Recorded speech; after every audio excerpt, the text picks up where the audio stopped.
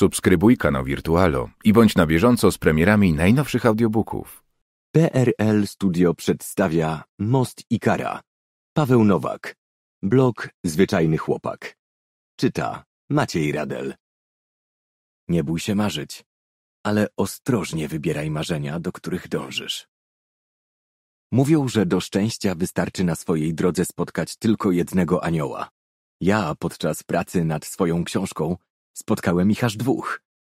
Madziu, Dobrochno, dziękuję wam za wiarę w moje możliwości, nawet wówczas, kiedy mi ich zabrakło. Od autora Pisanie tej książki wiązało się z emocjonalnym rollercoasterem, z którym musiałem się zmierzyć. Na szczęście wokół mnie było kilka osób, które pomogły mi przejść tę drogę bez szwanku. Są na tym świecie jednak tacy, którzy z własnymi demonami muszą radzić sobie sami, a w starciu z nimi nikt nie powinien być sam. Szczególnie wtedy, gdy tolerancja jest coraz bardziej zagrożona. Dlatego kupując tę książkę, przeznaczasz część dochodu na wsparcie działań Fundacji Instytut Otwarta Przestrzeń. To dzięki nim nikt nie zostanie sam w chwili, kiedy będzie potrzebował pomocy. Dziękujemy za Twój wkład. Część pierwsza. Ikar. Rozdział pierwszy. To takie głupie, tak strasznie infantylne i tak niedorzeczne, że Antek sam nie mógł uwierzyć, że o tym pomyślał. Stał przy barierce na moście świętokrzyskim w Warszawie. Nie zamierzał skoczyć. Chciał tylko popatrzeć na tę metalową konstrukcję. Uwielbiał ją. Ten most był dla niego synonimem marzeń. Złudzeniem nowego życia, innego, lepszego niż to, które miał. Miał być bramą do szczęścia, a przejazd na drugą stronę miał otworzyć nowe, nieznane dotąd możliwości. A przecież nie ma dużego znaczenia dla stolicy. Nie spaja centralnych punktów miasta, nie jest też zbyt często wybierany przez kierowców, a droga prowadząca do niego częściej jest uczęszczana przez rowerzystów niż ciągle spóźnionych warszawiaków. On jednak wiedział, że kocha ten most od dziecka.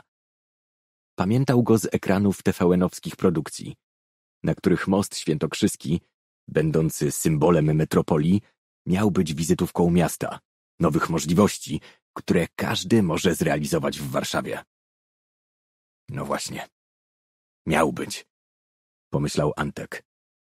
Tylko co teraz? Dokąd mam pójść? Co dalej mam robić? To wszystko nie wyszło. Nadal w głowie miał pocieszający głos rozsądku Kaśki. Antek, jest źle, znasz mnie, nie będę cię pocieszać i mówić, że wszystko się ułoży, ale nie ma co płakać. Trzeba myśleć, co dalej. Tylko, że ja nie wiem, co dalej. Nie wiem nawet, co dalej mógłbym zrobić. Powiedz tylko słowo, a ja dziś pakuję swoje Volvo i jadę po ciebie.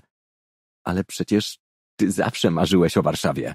Mówiłeś o tym, odkąd się znamy, więc daj sobie szansę.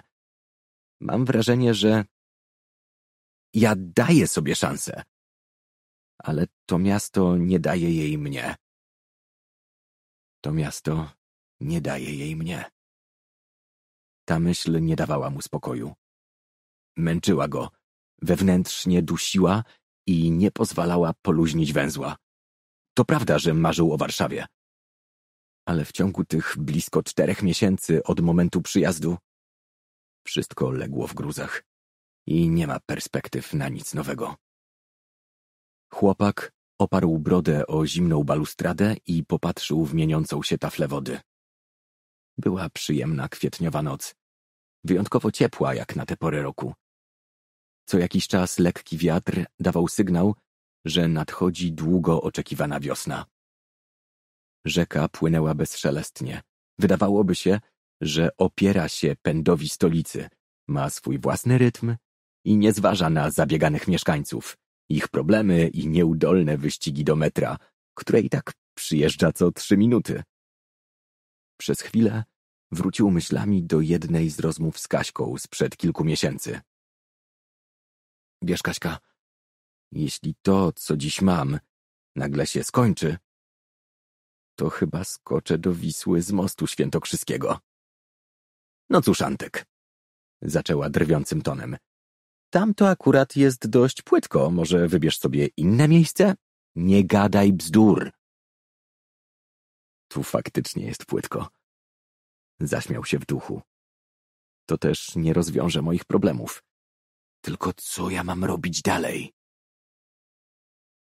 Kilkanaście minut wcześniej, po praskiej stronie miasta, Grzegorz zaparkował swój samochód w okolicy Stadionu Narodowego, przebrał się w wygodny strój i stwierdził, że to idealny wieczór na rozpoczęcie swojej przygody z joggingiem. Właśnie wybiegał z leśnych bulwarów, skręcając w okolice mostu. Tak, to był zdecydowanie dobry pomysł, aby dzisiejszego wieczoru zmienić śmierdzącą siłownię na nocny trening na świeżym powietrzu. Czuł podniecenie na myśl o nadciągającej wiośnie. Miał na sobie krótkie szorty i opiętą bluzę z kapturem z lajkry. Spojrzał na swoje łydki. Cóż, jak na czterdzieści dziewięć lat. Wyglądają całkiem nieźle, pomyślał. Tylko ta okropna opona na brzuchu. Muszę zacząć więcej biegać. Tak, to będzie moje wiosenne postanowienie. Sport dla Grzegorza był nieodłącznym elementem życia. Kiedy po burzliwych przejściach siedem lat temu odszedł jego ówczesny partner, Ryszard, jego starannie ułożone życie się załamało. Wszystko, co miał, budowali razem. Będąc z dala od gejowskiego towarzystwa i świata, tworzyli wspólne życie we dwoje.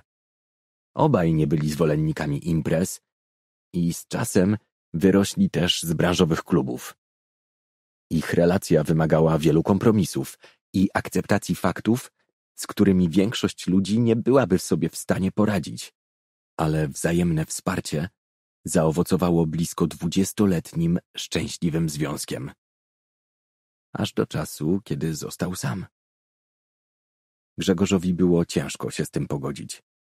Wydawało mu się, że z Ryszardem spędzi całe swoje życie. Mieli wspólne marzenia, wspólne życie, wspólną firmę.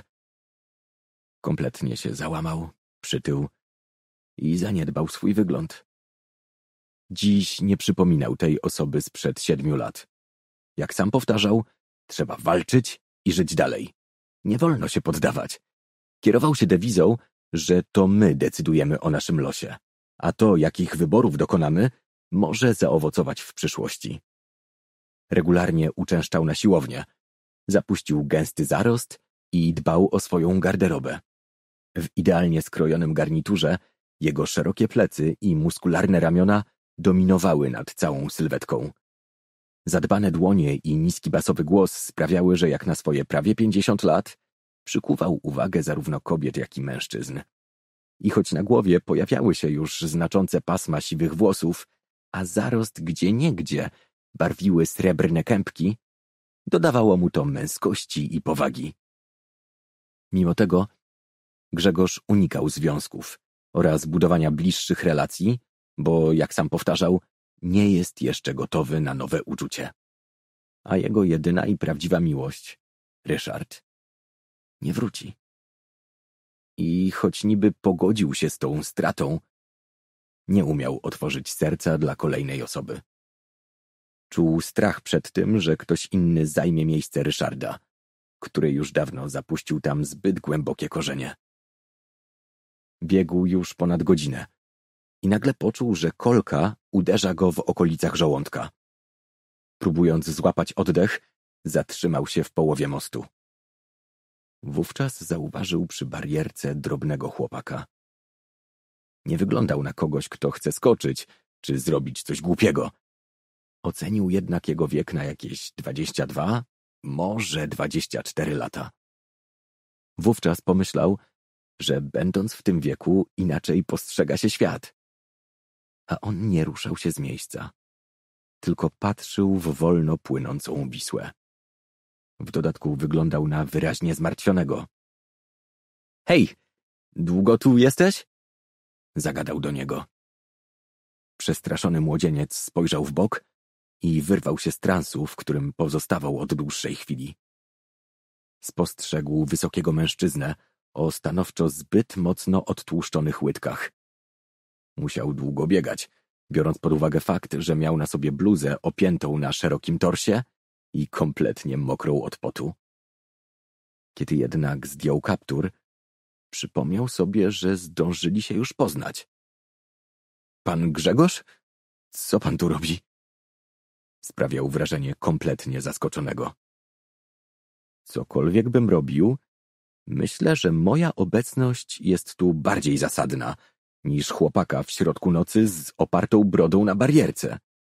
Grzegorz spojrzał w przestrzeń rozciągającą się za swoim rozmówcą.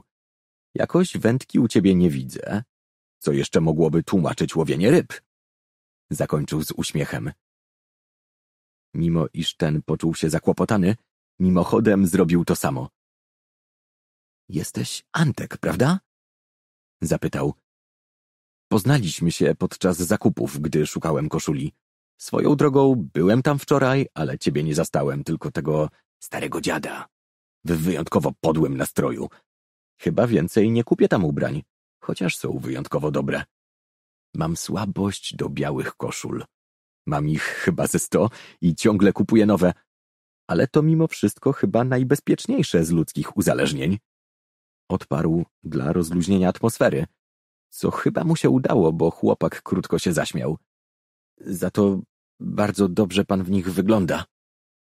Dziękuję. Chociaż patrząc na ciebie tutaj teraz, myślę, że to nie jest najlepszy temat naszej rozmowy.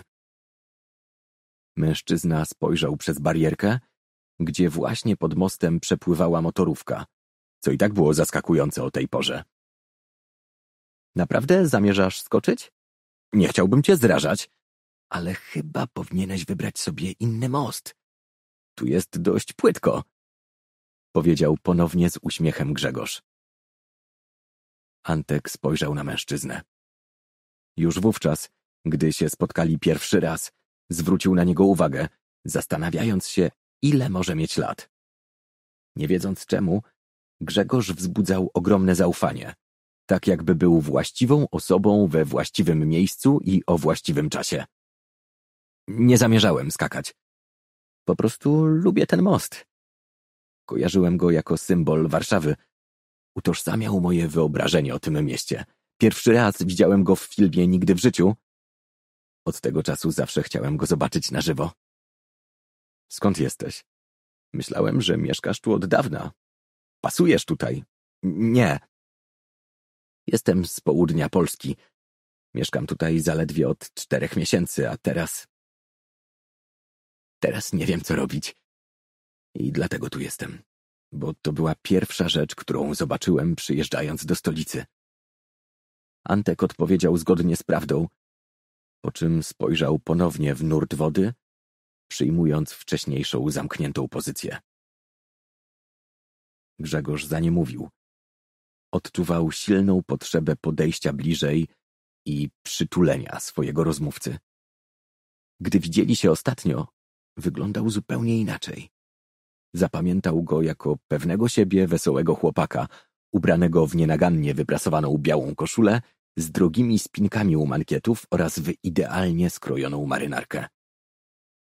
Dziś, patrząc na niego, stojącego na moście świętokrzyskim w podartych dżinsach i bluzie z kapturem, zrozumiał, że głupio było wtedy myśleć, że ciuchy, w których go zapamiętał, należą do niego.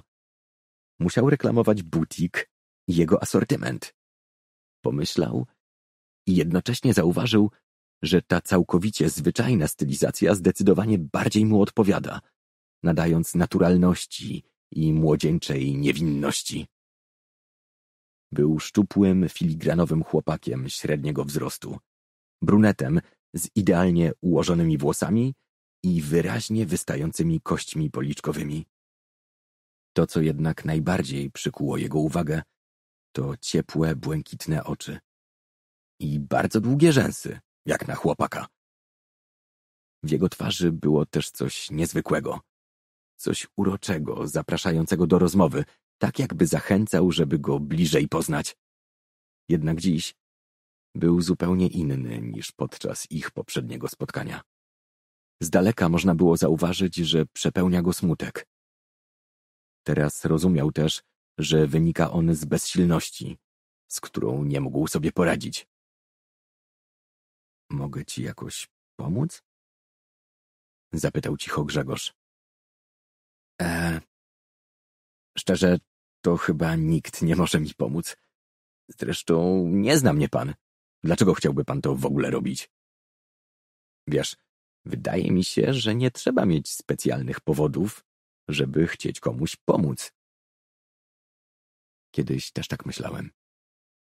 Sądziłem, że tutaj spełnią się wszystkie moje marzenia i początkowo wszystko szło dobrze.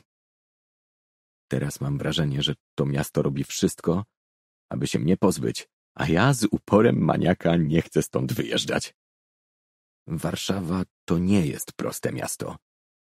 Zawsze znajdzie się tu sporo ludzi, którzy będą chcieli cię wykorzystać do swoich celów, być może skrzywdzić.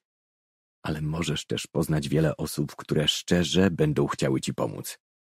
Ja na przykład kocham stolicę za to, że jest tu tylu ludzi, że każdy może znaleźć kogoś dla siebie, kogoś, z kim chciałby przebywać. Wierz mi, początki mogą być trudne, ale z czasem Warszawa da się lubić.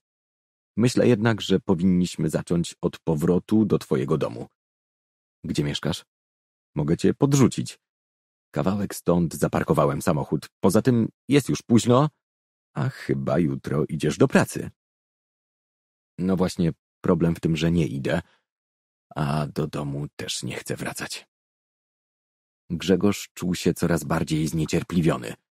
Z jednej strony chciał pomóc chłopakowi, z drugiej czuł, że w ciągu tej krótkiej rozmowy zdołał on wybudować wokół siebie mur, zapominając o zostawieniu miejsca na drzwi, które pozwoliłyby mu się do siebie zbliżyć.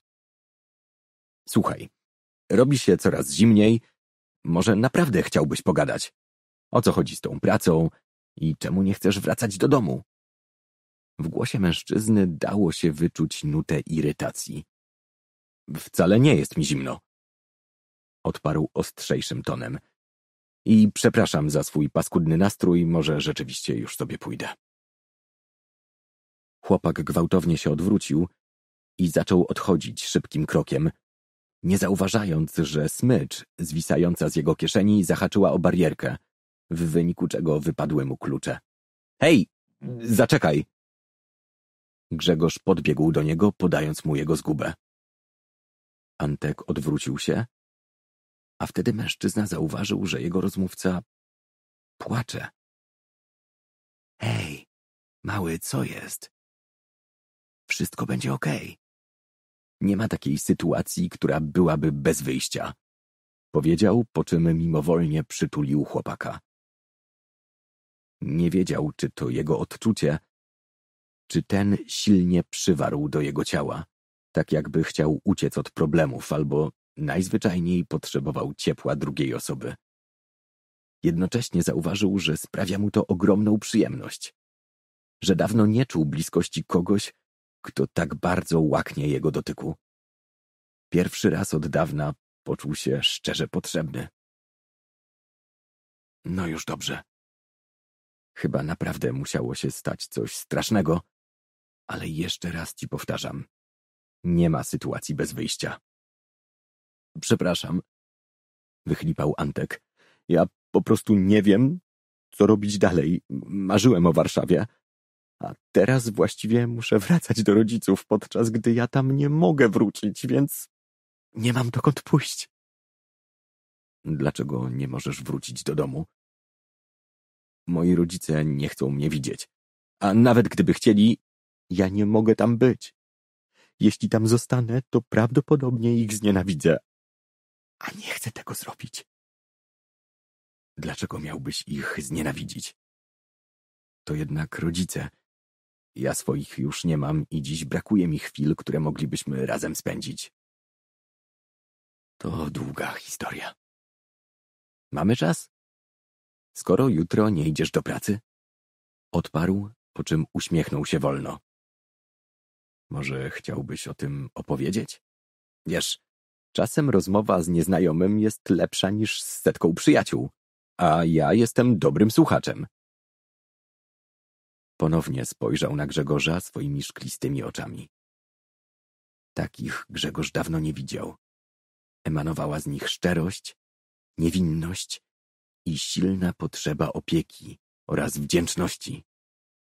Chciał patrzeć na te oczy.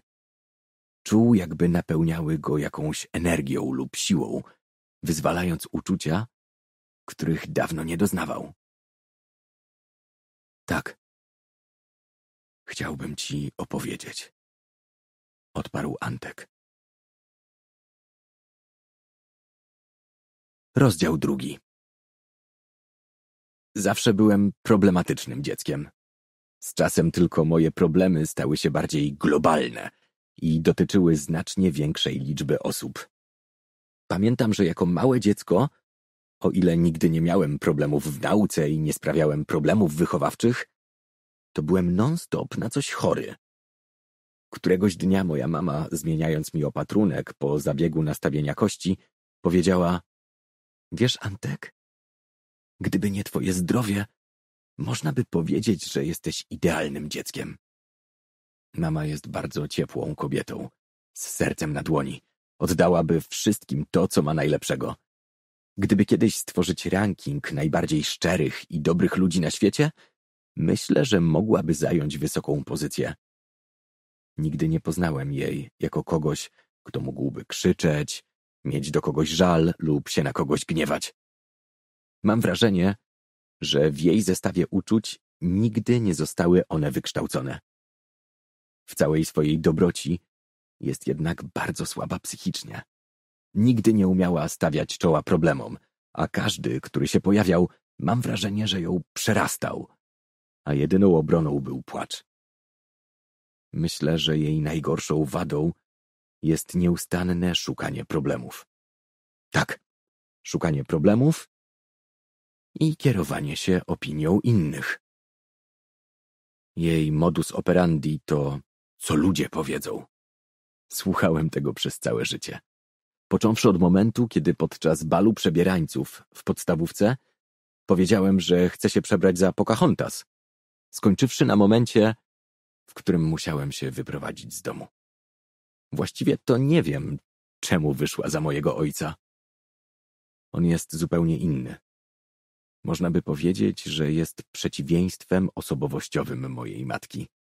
Ojciec jest bardzo zdecydowany, niezależny od nikogo i bardzo zaradny. Uwielbia narzucać swoją wolę innym. Jedno słowo wystarczy, aby matka przestała lamentować, podporządkowując się jego woli. Z tych powodów w moim domu panował hierarchiczny podział stanowiskowy. Bez wątpienia na szczycie tej piramidy znajdował się mój ojciec, a gdzieś na dole znajdowała się mama. Nigdy nie widziałem tam miejsca dla siebie. Ojciec prowadzi małą firmę usługową, wykonując zlecenia remontowe dla innych. Z całego mojego dzieciństwa pamiętam tylko to, że nigdy go nie było. O ile mama była pierwszą osobą, do której zwracałem się ze wszystkim, o tyle ojciec zawsze dowiadywał się o tym ostatni.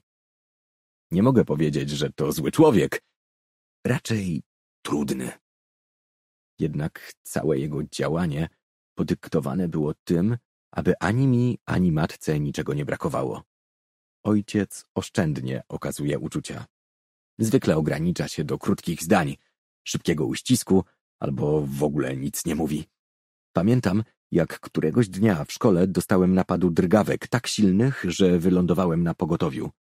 Kiedy zobaczyła mnie matka, wpadła w histerię, obwiniając siebie o to, co się stało. Z kolei mój ojciec poklepał mnie po plecach, mówiąc, że cieszy się, iż skończyło się tylko na krzyku. Nie mogę też powiedzieć, że w moim domu czegokolwiek brakowało. Rodzina nie należy do specjalnie zamożnych, ale też ojciec starał się zapewnić nam wszystko, czego potrzebujemy do życia. Harmonogram tygodnia koncentrował się na pracy, szkole i niedzielnym kościele. Według tego grafiku nadal żyją moi rodzice, a ja dobrowolnie też mu się poddawałem. Co tydzień, w niedzielę o godzinie dziesiątej, musiałem mieć uprasowaną najlepszą białą koszulę i pół godziny później stawić się na mszy. Można rzec, że tworzyliśmy obrazek idealnej katolickiej rodziny. Matka dbała, aby nikt nie pomyślał czegoś, co mogłoby zaburzyć tę laurkową sielankę. Jedyną osobą, która mogła to popsuć, byłem ja sam. Tak jak wspominałem już wcześniej, nie sprawiałem problemów wychowawczych swoim rodzicom. Uczyłem się bardzo dobrze, byłem też raczej cichym i spokojnym dzieckiem. Nie miałem zbyt wielu kolegów, ale też miasteczko nie obfitowało w ogromną liczbę dzieci. Tak naprawdę sytuacja zaczęła się zmieniać dopiero wtedy, kiedy poszedłem do szkoły średniej. Ponieważ w mojej rodzimej miejscowości nie było takowej, musiałem dojeżdżać do miasta wojewódzkiego. Dla mnie był to moment przełomowy, a dla mojej matki przeżycie na miarę wybuchu II wojny światowej. Jako ciche i spokojne dziecko z małego miasteczka nie najlepiej wspominam wydarzenia z tamtego okresu mojego życia. Właściwie unikałem kolegów. Byłem też raczej chudy i wątły, przez co inni chłopcy przeważnie mnie unikali i nie chcieli wdawać się ze mną w bliższą relację. Chcąc nie chcąc, przyjaciół szukałem wśród dziewczyn, z którymi zawsze łatwiej mi było odnaleźć wspólny język. W szkole średniej poznałem Kaśkę. Wpadliśmy na siebie, kiedy była w ostatniej klasie. Jako chłopak o bardziej kobiecej urodzie przyciągałem uwagę. I to zwykle w złym tego słowa znaczeniu. Któregoś dnia, gdy wychodziłem ze szkoły, zaczepiła mnie grupka nastolatków. Przezywali mnie i popychali z jednych rąk do drugich, jakbym był wyjątkowo lekką piłką, która jest na tyle kompaktowa, że można ją dowolnie konfigurować. Wówczas wkroczyła Kaśka. Te, knypku!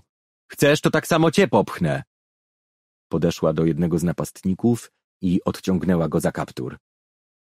Patrz, nasza dziewczynka jest taką ofiarą, że inne koleżanki muszą go ratować, bo sam nie umie się postawić. Wydarł się jeden z napastników. Chcesz? To ja ci się postawię. Tknij go jeszcze raz, a załatwię ci taki wpierdol, że własna matka cię nie pozna. Zamierzasz się bić?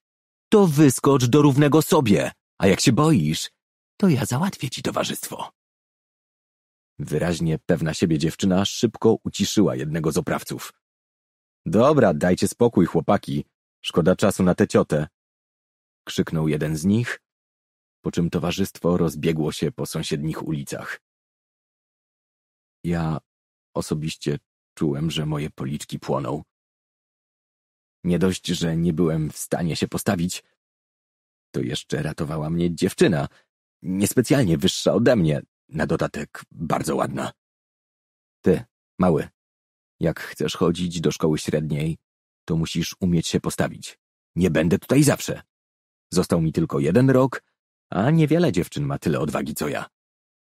Powiedziała z wyraźną dumą w głosie. Jestem Kaśka. To nie odwaga jest tutaj problemem, ale paraliż, który mnie przenika w kontakcie z tą samą płcią. Kaśka spojrzała na mnie wzrokiem pełnym zrozumienia, tak jakby właśnie powstała nić łącząca nasze umysły. Co powiesz na wspólną kawę? Zagadała z uśmiechem. Tak zaczęła się nasza przyjaźń. Kaśka była utożsamieniem wszystkich cech kobiecych, których nie widziałem u mojej matki. Już jako dziewiętnastolatka była piękną, wysoką kobietą z długimi, falującymi brązowymi włosami, które dodawały jej pewnego rodzaju szyku i klasy. Była pewna siebie, odważna. Po prostu wiedziała, czego chce. W krótkim czasie dowiedziałem się, że po szkole średniej chce iść na zarządzanie, aby jak najszybciej odrobić praktyki w firmie swojego ojca. Kaśka kierowała się w życiu dewizą, że aby coś osiągnąć, należy działać i iść naprzód, a pomysł, jak to zrobić, pojawi się sam. Dzięki temu w późniejszych latach osiągnęła wszystko to, co sobie założyła, zostając zastępcą dyrektora w firmie produkcyjnej, gdzie odpowiadała za strategię marketingową większości produktów wychodzących na rynek zagraniczny. Znajomość z Kaśką była dla mnie bardzo cenna również w kontekście wizerunkowym. Jeszcze w szkole, chcąc nie chcąc, Stała się najbliższą mi osobą spośród tych, z którymi spędzałem czas. Ludzie zaczęli nas identyfikować ze sobą, podejrzewając o bliższe relacje. Co w kontekście dalszego rozwoju wydarzeń było dla mnie bardzo cenne. Zapobiegło też wielu nieprzyjemnościom, na które wcześniej byłem narażony. Jeszcze zanim poszedłem do liceum, podejrzewałem, że ze mną jest coś nie tak. Mój paraliż podczas kontaktów z innymi chłopcami wynikał nie tyle z braku chęci nawiązywania relacji, co z patrzenia na nich inaczej niż na kobiety. Z czasem zacząłem zauważać, że męska sylwetka jest dla mnie zdecydowanie bardziej atrakcyjna niż kobieca. Innym razem, że moje fantazje seksualne, które mimo wszystko mimochodem sam wywoływałem, coraz bardziej skupiają się na mężczyznach. Wypierałem tę myśl, mówiąc sobie, że to niemożliwe, to tylko nic nieznaczące myśli. Ja, chłopak z katolickiego domu, gdzie homoseksualiści lądowali w ostatnim kręgu piekła zaraz za widłami Lucyfera, nie mogę być inny. Sytuacja zmieniła się, gdy którejś nocy świadomie zacząłem się masturbować z myślą o chłopaku ze szkoły. Mimo, że pierwszy raz sprawiło mi to prawdziwą przyjemność, zaraz potem poczułem ogromne wyrzuty sumienia. To był moment, w którym stwierdziłem, że nie poradzę sobie z tym problemem i uznałem, że muszę z kimś pogadać. Wiedziałem z kim. Tą osobą musiała być Kaśka. Muszę ci coś powiedzieć. Wyznałem jej podczas jednego z naszych spotkań. Antek, Wal, wiem o tobie wszystko. Przecież wiesz, że możesz mi zaufać. Wiem, tylko ja chyba sam do końca nie ufam sobie. W każdym razie nikt o tym nie wie i nie może wiedzieć. Dodałem po chwili. Kaśka popatrzyła na mnie swoimi bystrymi oczami.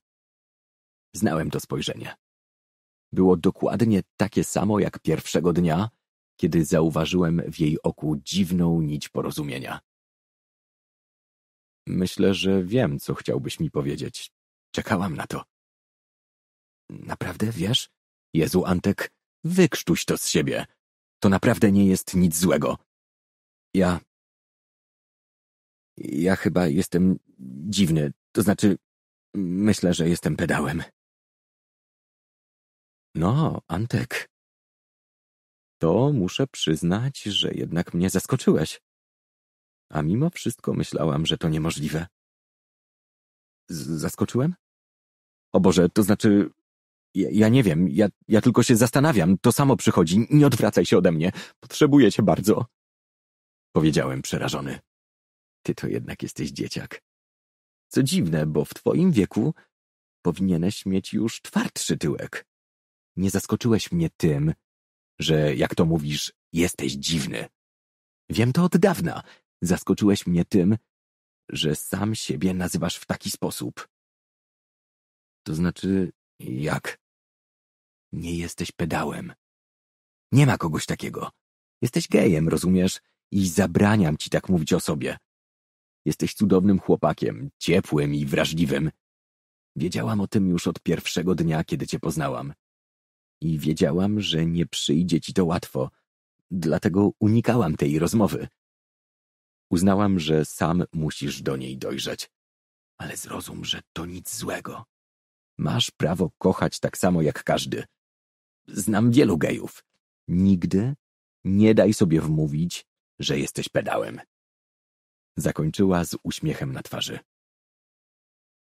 Ja jednak spojrzałem na nią wzrokiem pełnym przerażenia. Chyba nie spodziewała się takiej reakcji, ponieważ mina momentalnie jej zrzedła. Ty nic nie rozumiesz. Nie rozumiesz po prostu, ja nie mogę być gejem. Co powiedzą moi rodzice, co powie mój ojciec? Przecież to nie mogę być ja. Szczerze przyznałem się do moich obaw. Antek. Czuję się, jakbym rozmawiała z małym dzieckiem, a przypominam ci, że jesteś tylko dwa lata ode mnie młodszy. Za chwilę będziesz dorosły. Lubię twoich rodziców i naprawdę uważam, że to cudowni, dobrzy ludzie. W końcu wychowali cię na tego, kim jesteś. Ale oni już swoje życie przeżyli. A to, że jesteś gejem, nie jest twoją winą. Ja wolę facetów, ty też. Taki już jesteś.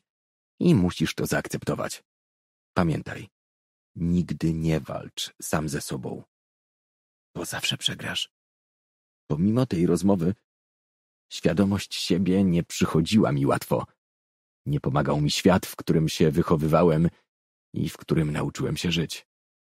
Wkrótce Kaśka skończyła szkołę, a ja zostałem w niej sam.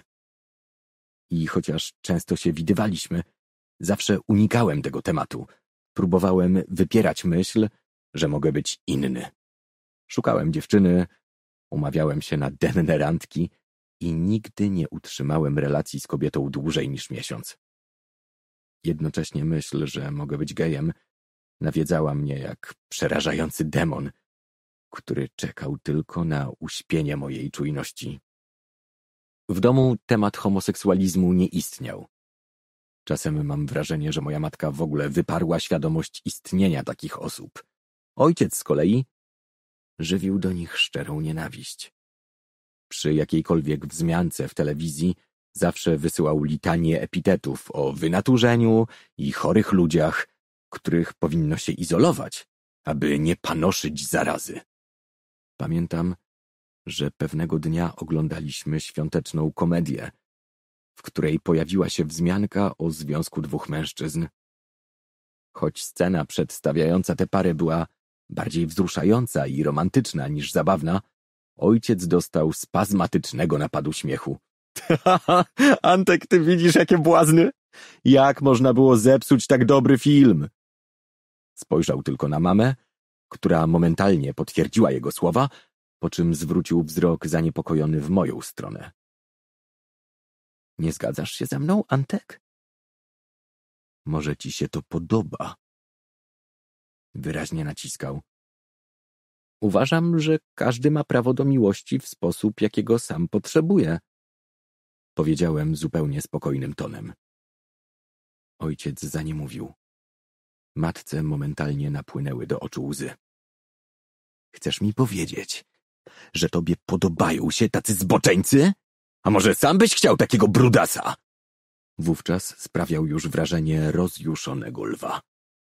Przecież oni nie odziedziczą Królestwa Bożego, wtrąciła się matka głosem pełnym szczerego przerażenia.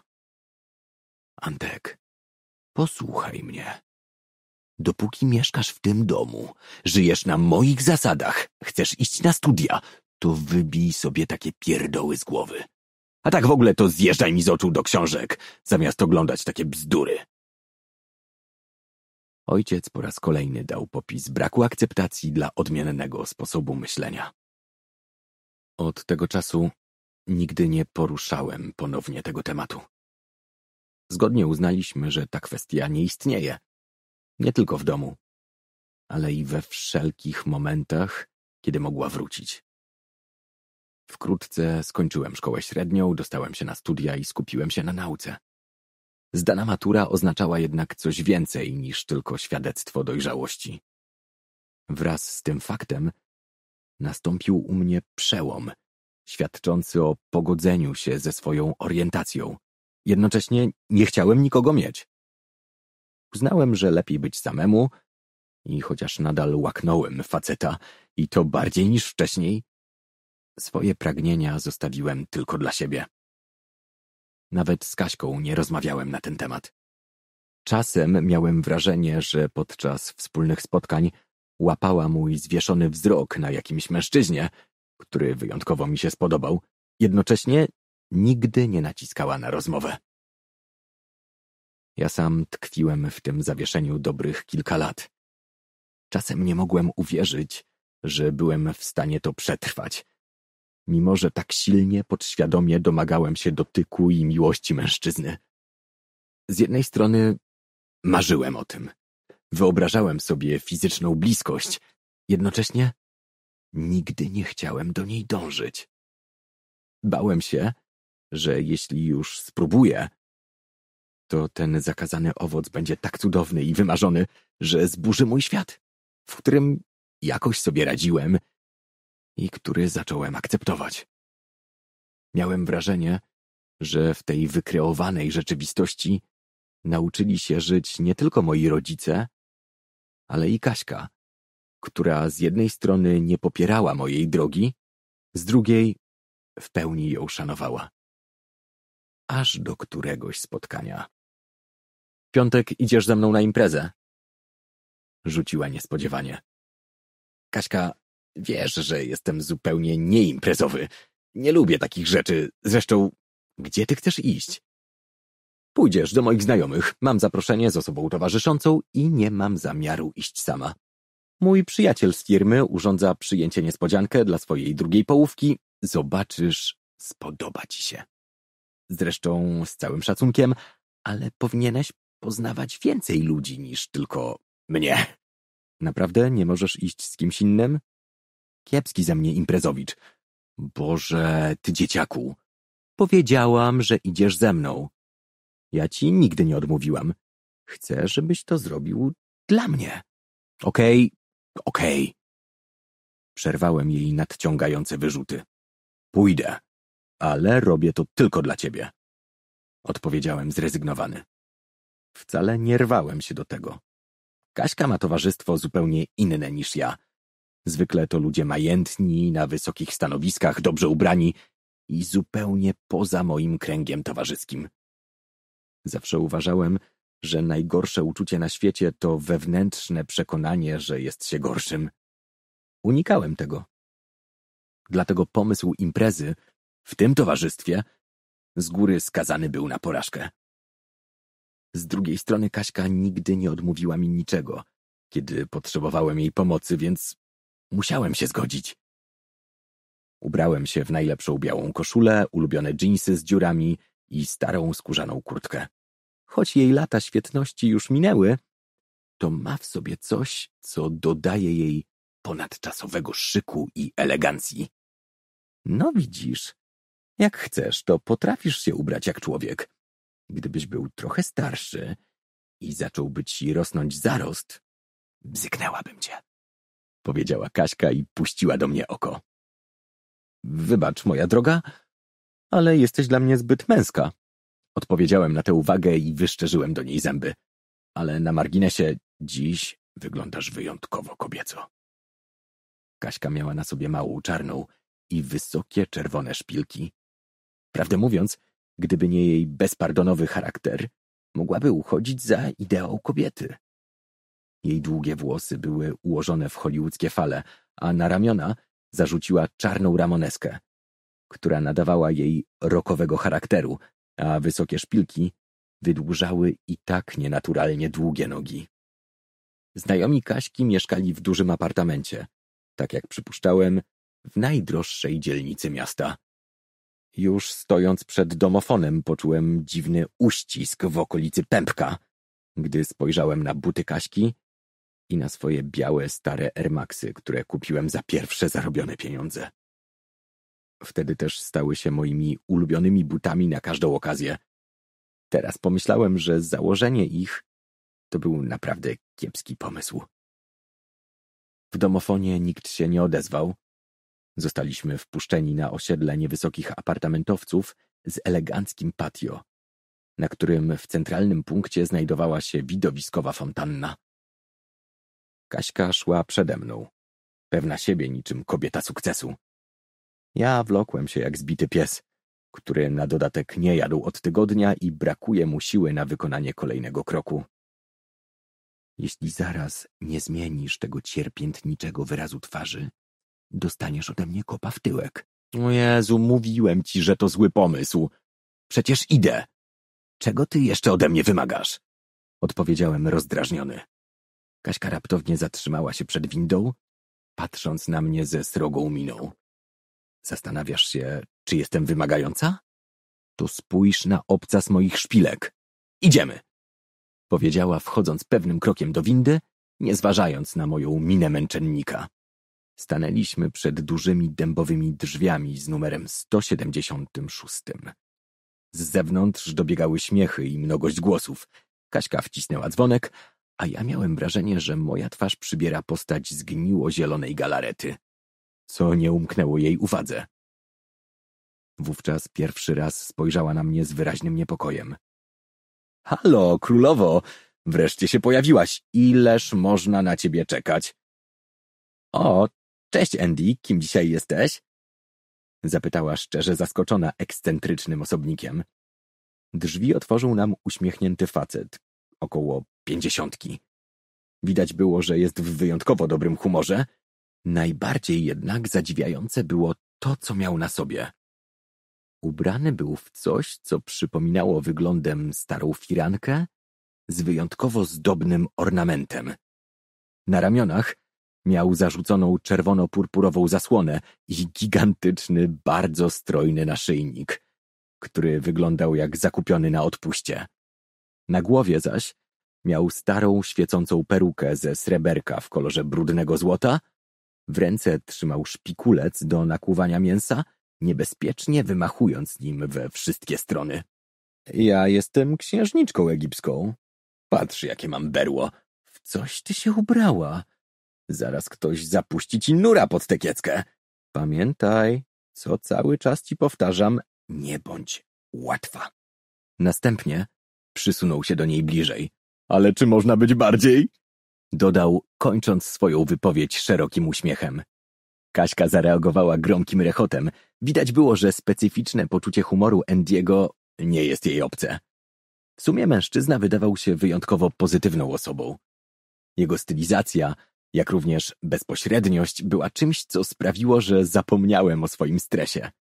O Boże, pokaż tę ślicznotę, którą zabrałaś ze sobą. Wszyscy na niego czekają. A, właśnie, to jest Antek, Antek to jest Elizabeth Taylor. Dla przyjaciół Andy Ratzinger. Wypalił, wyrywając tak gwałtownie rękę w moją stronę, że prawie trafił w oko stojącej z boku Kaśki. A miło mi poznać? Odpowiedziałem. Jestem Antek. Wiem. Czekałem na ciebie, powiedział Andy, po czym chwycił mnie w pasie i wepchnął z impetem do środka, nie zważając na rozbawioną Kaśkę i kompletnie zapominając o jej obecności. Czego się napijesz? To są wszyscy, wszyscy, to jest Antek.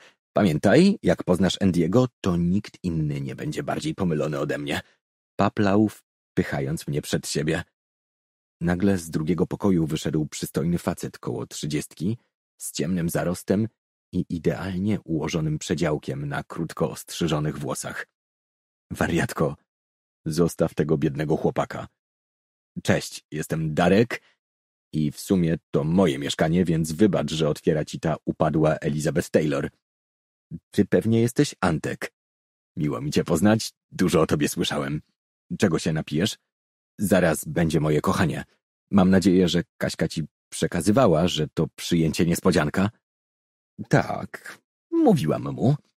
Uśmiechnięta dziewczyna podbiegła i pocałowała Darka w policzek. Przyznam szczerze, że Andy na wejście to dość szokowa terapia, jaką mogłam ci zapewnić. Dodała, zwracając się do mnie. Wtedy zacząłem podejrzewać, co miała na myśli. Rozejrzałem się po całym zebranym towarzystwie. Znajdowaliśmy się w dużym salonie, z wysokim sufitem i ogromną ilością halogenów.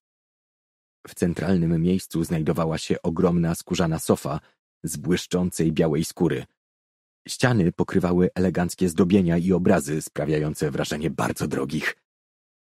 W rogu stał ogromny stół z przygotowanym cateringiem, na którym z daleka dostrzegłem owoce morza i gigantyczny tort z napisem sześć lat razem. Tak jak przeczuwałem, Wyróżniałem się na tle zebranego towarzystwa. Już pominę fakt, że byłem prawdopodobnie najmłodszym z zebranych. Każdy tu wyglądał drogo. W salonie przebywało około piętnastu osób, a większość stanowili mężczyźni. Bardzo przystojni mężczyźni. Dobrze ubrani i z uśmiechem na twarzy. Nieliczne kobiety były kopią Kaśki, w różnych kolorach włosów i sukienek. Czuć było od nich pewność siebie i przebojowość. Przy dużym, eklektycznym kominku, podwieszonym do sufitu, stał wysoki mężczyzna z gładko zaczesanymi włosami w kucyk oraz idealnie ostrzyżoną krótką brodą. Miał niezwykle szlachetne rysy twarzy, dodające mu z jednej strony powagi, z drugiej nieziemskiego seksapilu. Ubrany był w elegancką granatową marynarkę i biały t-shirt z dużym logo. Na stopach miał białe Airmaxy. Jego model był jednak zdecydowanie nowszy od mojego i na pewno nie zakładał ich na każdą okazję. Nie wiem, czy to było tylko moje złudzenie, czy istotnie, kiedy mnie zauważył, zatrzymał na mnie wzrok, puszczając oko. Ci wszyscy ludzie, choć zupełnie inni niż ja i tacy, których zazwyczaj unikałem, okazali się niezwykle mili i sympatyczni. Wokół zebranego towarzystwa biegał ucieszony Andy, klepiąc kobiety po pośladkach i rozlewając drinki każdemu, kogo napotkał na swojej drodze. Cicho, Andy! Wszyscy na miejsca! krzyknął Darek, gasząc światło. Moje kochanie właśnie wraca i jest już w windzie. Dostałem cynk od portiera. Całe towarzystwo skupiło się na dużym tarasie. Patrząc na pozostałych zebranych, byłem pewny, że jubilatka to ktoś pokroju gwiazdy filmowej, na co wskazywałaby cała oprawa wydarzenia. Usłyszałem trzask zamka drzwi, nagle zapaliło się światło. Niespodzianka! Ogłuszający okrzyk zebranych zaskoczył wchodzącą do własnego mieszkania osobę. W drzwiach stanął łysy mężczyzna w idealnie skrojonym garniturze i okrągłych okularach. Druga połówka Darka okazała się facetem. Gdy spojrzałem na niego, przypomniałem sobie, że jakiś czas temu zdążyłem go już poznać, kiedy przyszedłem po Kaśkę do pracy. Żegnali się czule i byłem pewny, że spotyka się z tym gościem. Nigdy bym nie pomyślał, że on może być gejem. Wszystkiego najlepszego, kocur! Zawołał uradowany Darek, podchodząc do niego z tortem i całując go na oczach całego towarzystwa. Boże, jak można być tak pomylonym, żeby wytrzymać z Darkiem aż sześć lat? krzyknął Andy. Andrzej, bo tak nazywał się nowo przybyły, stał na środku salonu szczerze wzruszony i szczęśliwy. Chociaż jego ubiór wskazywał na silnego, zdecydowanego faceta, teraz w oczach miał łzy. Spojrzał z czułością na Darka, zmierzwił mu włosy i powiedział Nie wiem, po prostu bardzo go kocham. Dziękuję wam wszystkim i przede wszystkim tobie. Dziękuję ci, że każdego dnia sprawiasz, że chcę być lepszym człowiekiem. Po chwili znowu zaczął go całować ku uciesze zebranych. Kiedy szum ucichł, towarzystwo zaczęło podchodzić do jubilatów, składali im gratulacje i wymieniali uściski. Ja wówczas stałem jak zahipnotyzowany i nie byłem w stanie wydusić z siebie ani słowa. To było niezwykłe. Takie szczere, takie normalne. Nikt nie mówił o wiecznym potępieniu. Nikt nikogo nie obrażał. Ci wszyscy ludzie szczerze kibicowali tej dziwnej parze. Nagle, jakby przez sen, usłyszałem cichy głos Kaśki. Widzisz? Oni naprawdę są szczęśliwi. Oni mogą być szczęśliwi. Ty też możesz. Spojrzałem na jej bystre oczy.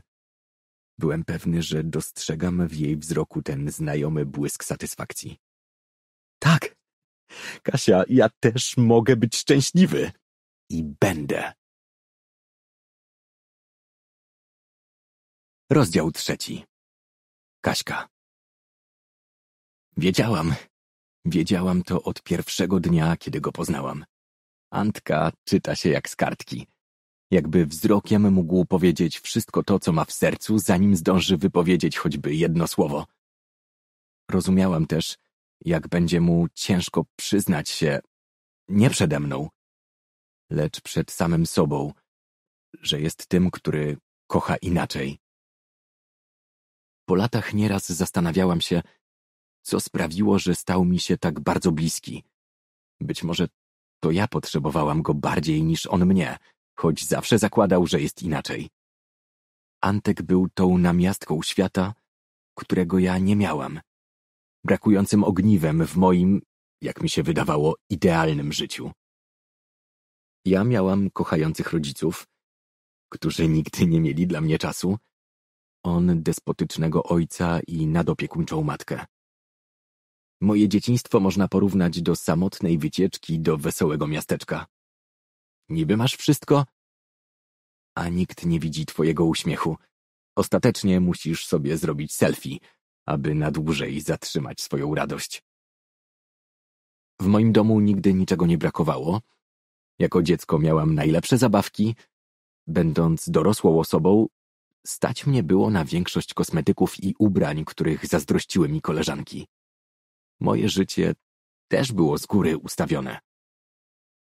Zanim poszłam do liceum, wiedziałam, jakie muszę ukończyć studia. Zanim skończyłam studia, wiedziałam już, jaką będę mieć pracę. I chciałam tego. A przynajmniej tak mi się wydawało. Nieraz zastanawiałam się, dlaczego nie stałam się cholerną egoistką. W końcu powinnam nią być. Byłam tego uczona od małego dziecka. Jako zaledwie kilkuletnia dziewczynka chodziłam na balet, angielski, francuski i zajęcia logopedyczne. Nienawidziłam ich.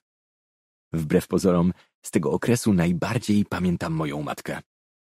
Chcę się bawić tymi lalkami. Zakomunikowałam. Kasiu, uczyłyśmy się już tego, powtarzała pani doktor. Nie mówi się chcę. Powtarzaj za mną. Chciałabym pobawić się tymi lalkami. Chcę się pobawić. Jak tam moja mała królewna? Przeszkodziła nam mama. Umie już wszystkie słówka? Mamo, pobaw się ze mną. Nie chcę tych lekcji. Odpowiadała mała Kasia, energicznie przecząc głową. Kochanie, pamiętaj, że musisz być mądrą dziewczynką. Mamusia nie ma teraz czasu, ma bardzo dużo pracy, ale jak będziesz grzeczna i mądra, to mamusia w weekend zabierze cię na zakupy. Nie lubiłam zakupów. Miałam wrażenie, że nie potrafię spędzać czasu ze swoją matką.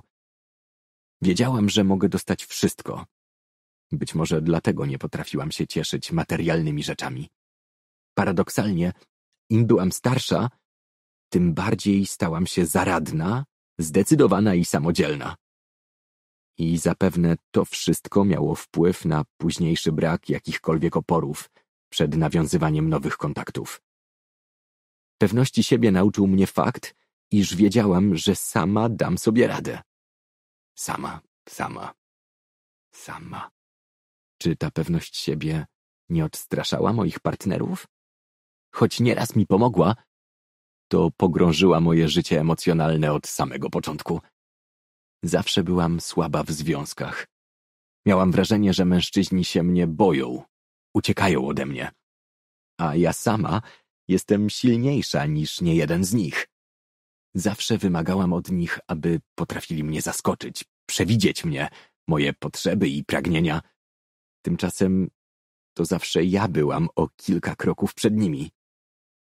Jak dziś pamiętam mój pierwszy, jak mi się wydawało, poważny związek i naszą ostatnią wspólną kolację z Bartkiem.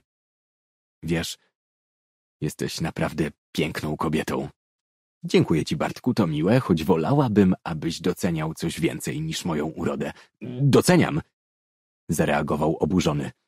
Jesteś mądra, inteligentna, bardzo podoba mi się to, jak jasno zmierzasz do celu, który sobie wyznaczasz. Hmm. To może zatem powinieneś brać ze mnie przykład? O co ci chodzi? O to, że masz dwadzieścia dziewięć lat i jesteś ode mnie starszy o ponad sześć. Nie wydaje ci się, że w twoim wieku powinieneś wiedzieć już, co chciałbyś robić w życiu? Zapytałam, zanim zdążyłam ugryźć się w język. Jestem sportowcem. Stawiam na karierę, muszę dużo trenować. Odpowiedział podniesionym głosem Bartek. Sportowcem mówisz. Za pięć lat też będziesz sportowcem? A co będzie za lat dziesięć? A co wówczas, kiedy będziemy mieli dziecko? Też będziesz, jak to mówisz, sportowcem, który musi trenować? Dorośnij. Co cię ugryzło? Jesteś dzieciakiem, małym chłopcem, który myśli, że całe życie będzie grać w piłeczkę. Gdybyś chociaż grał w jakimś porządnym klubie. Kanał Wirtualo i bądź na bieżąco z premierami najnowszych audiobooków.